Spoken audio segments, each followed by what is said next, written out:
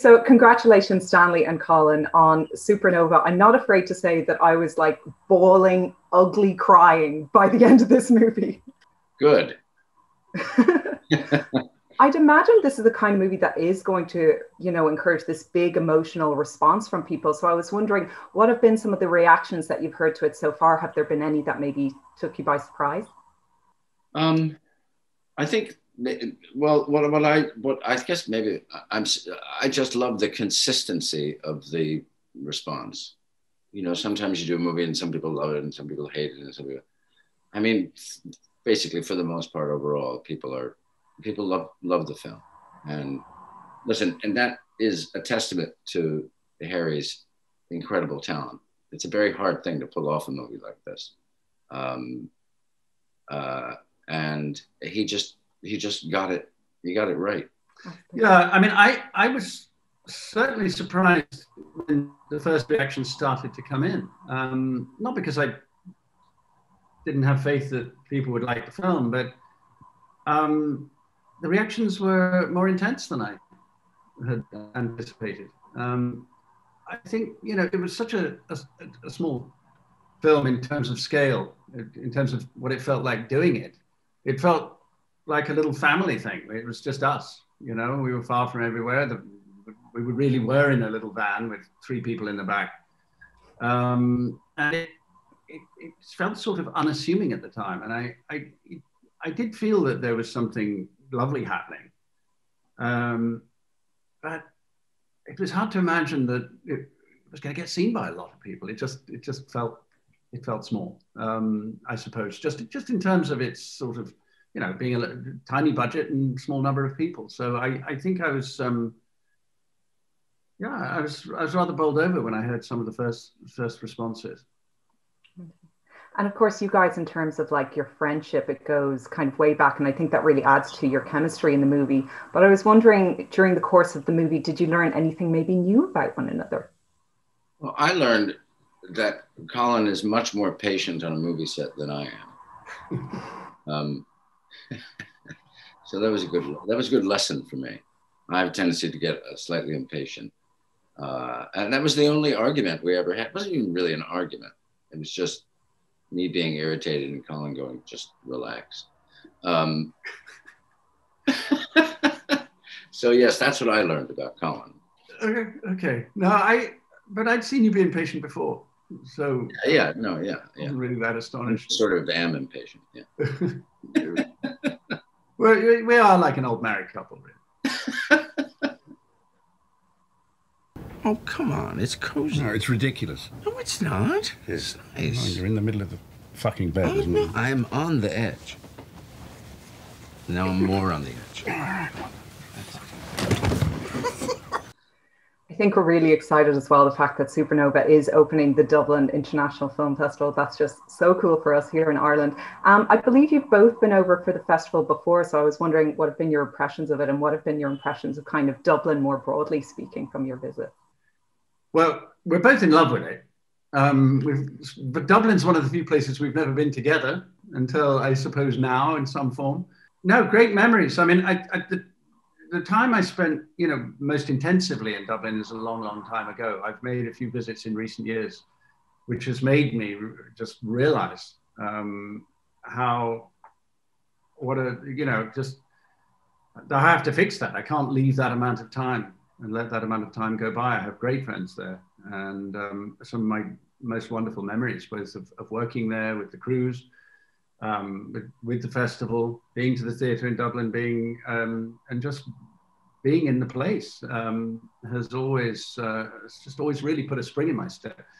And I, I, fell in love with it so completely, in fact, that I, I started to, I think, like quite a lot of English people, really hope that I had Irish roots you know, I started sort of doing a bit of family tree investigation. Surely there's some Irish in me. It's still a work in progress. I haven't found it, but um, you know, it's it's it, it, kind of gives you that feeling. I I would love to belong here. For yourself, Stanley.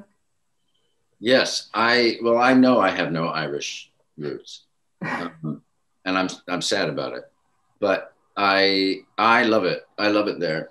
I've been a few times, and obviously for the festival, which was so much fun, and but too short. I was there for too short a time.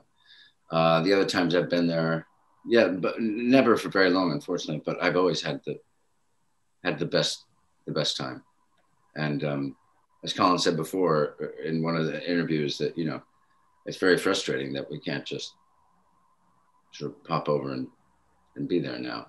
But hopefully, hopefully next year. So you'll have to give us you have to give us an, another award next year, combined award.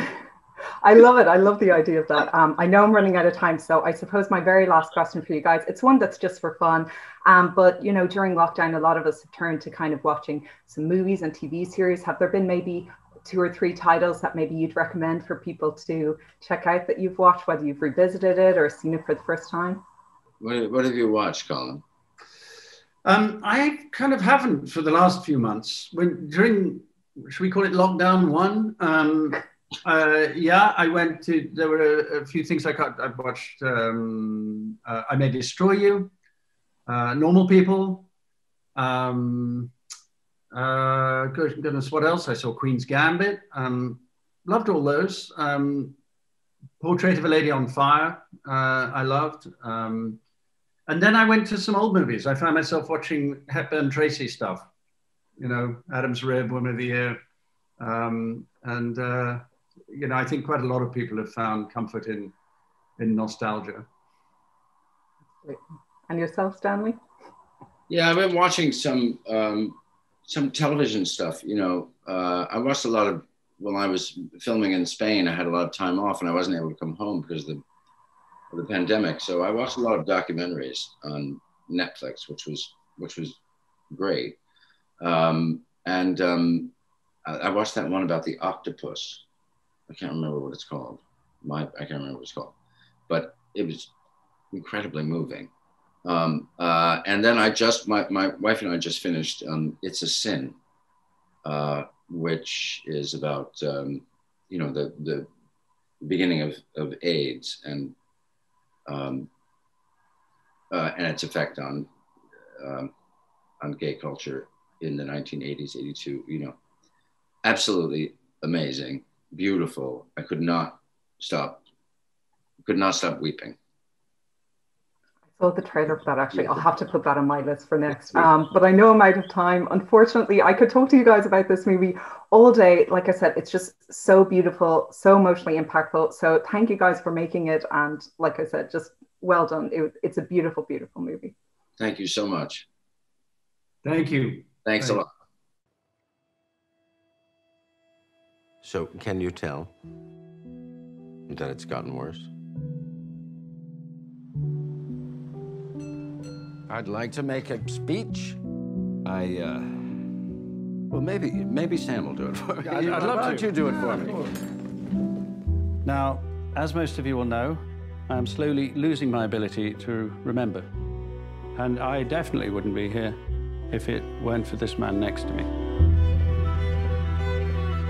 I want to be remembered for who I was, but not for who I'm about to become. It's not fair to you. It's not about fair. It's about love. No, Sam. I want to see this through with you to the end. Oscar! Hey, sorry. You know, a very wise man once said, we will not starve for lack of wonders, but from lack of wonder.